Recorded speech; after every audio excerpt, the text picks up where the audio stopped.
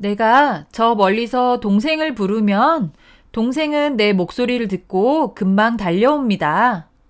어떻게 소리를 들을 수 있었을까요? 그건 우리 주변에 소리를 잘 전달해 주는 것이 있어서인데요. 바로 공기입니다. 우리가 어떤 물체를 두드렸을 때 공기의 떨림이 발생하고 그 떨림이 우리 귀까지 전달되는 것입니다.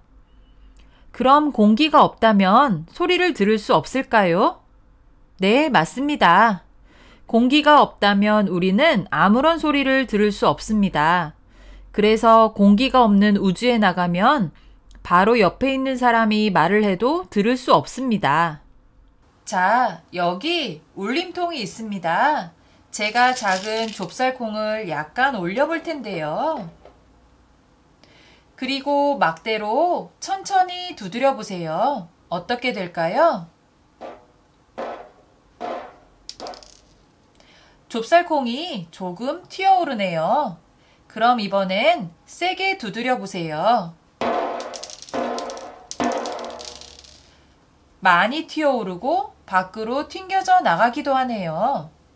다음은 구슬도 똑같은 방법으로 두드려 보겠습니다. 첫 번째는 천천히, 두 번째는 세게,